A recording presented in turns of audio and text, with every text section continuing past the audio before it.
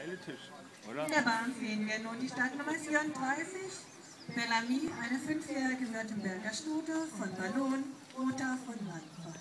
Geritten von Rebecca Siller, Reitverein St. Georg Bad Krotzingen.